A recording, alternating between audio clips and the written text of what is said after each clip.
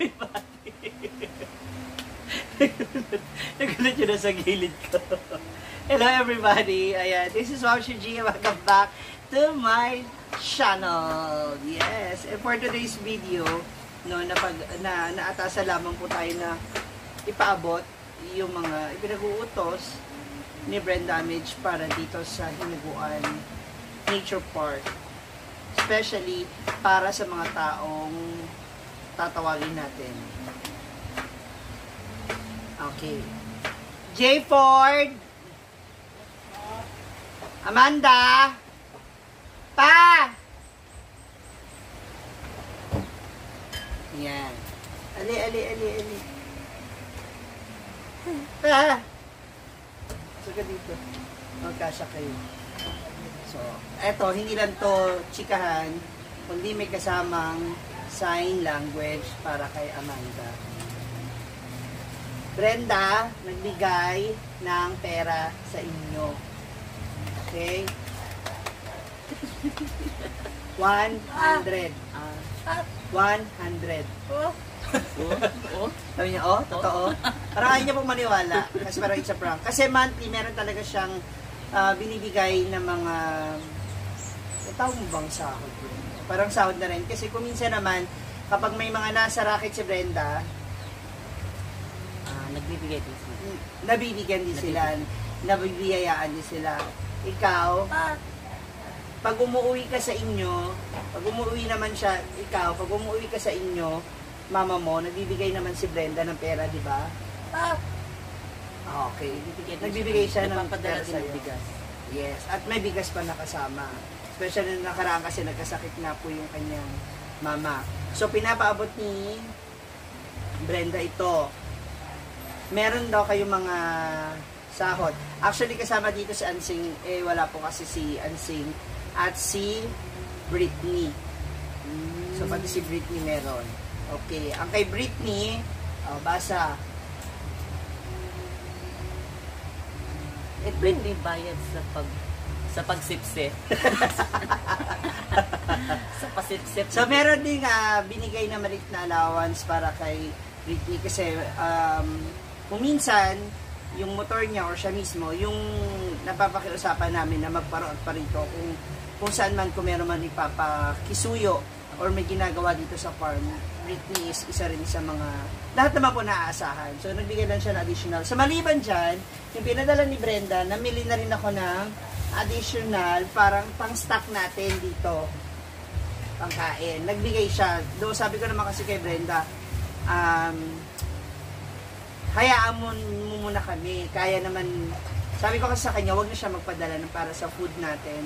Total, nandito naman tayo. Tayo dapat ang gumawa ng paraan noon. Pero, as usual, alam niyo naman si Brenda.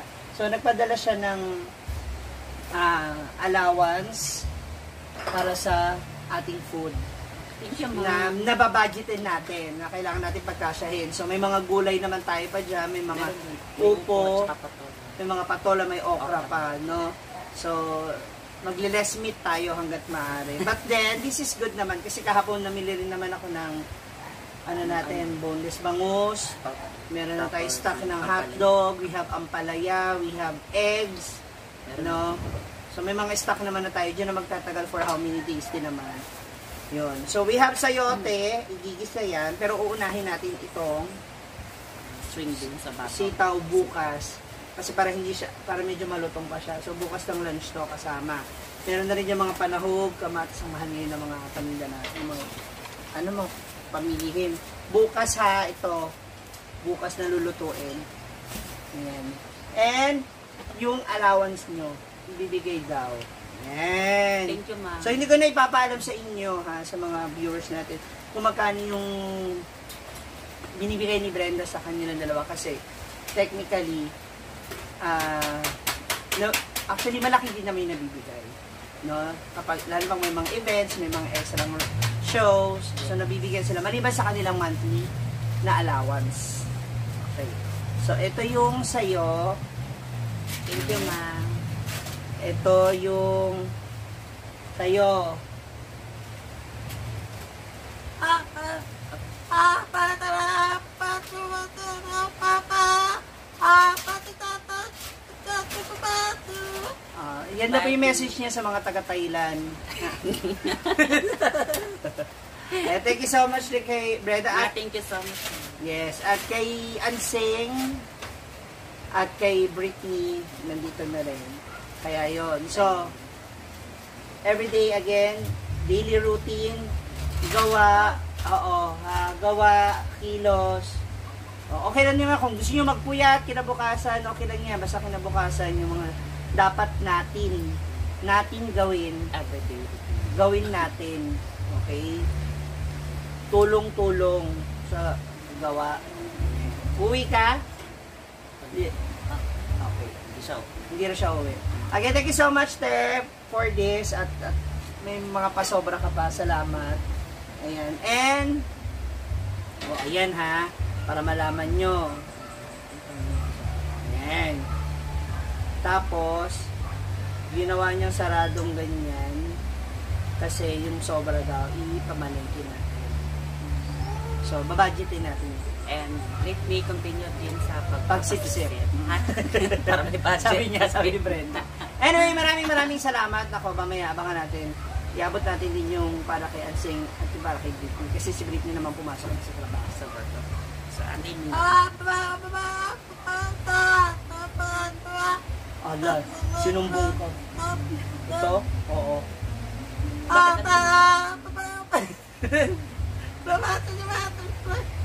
Pasensya na po, nag-choppy na yung line natin. Nagputol-putol si Amanda. See you later. Ayan na siya. Sa kagaling? Trabaho. Ha? Trabaho. Bakit may chikinini ka? Sa, sa trabaho kailangan may chikinini? Saan? Meron Ayan, oo. Ayan, oh, maliit, oh. ba? Eh, wala. Mm, di ba? Mm, di ba? Meron? Ano yan? Hindi ako malanding, ma'am. Ha? Hindi ka malandi? Sige, gusto- napitin lang talaga ako. May gusto lang kayo pabasa sa yung message. Oo.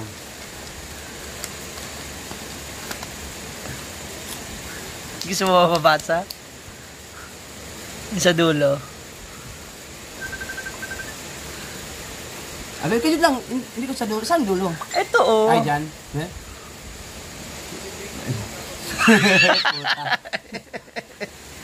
Well, Bigay sa'yo ni Brenda. Kasi daw, alam niya may bisita ka na naman daw ngayon. Oy, wala. Oo, may pupunta na naman daw ngayon. O, ayan na. Thank Ayan, ah, ayun na yung pagpakita ha. Thank you, madam. You.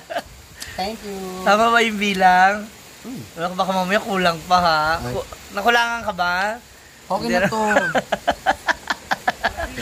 Salamat, Parang- madam. Parang hindi ka you. happy. Uy, happy. Isang libo na to. kung magkatawa, kung tatawa ako sa sakit dito sa akin. Dahil, ayan yun, aksidente ka. Eh kasi kung sino-sino inaangkas mo. Eh, manahimik. Ay, sas, sas, sas. Ah, Thank you, thank you, madam. Love you. Ah, di ba, yan na. Hmm, sip, sip.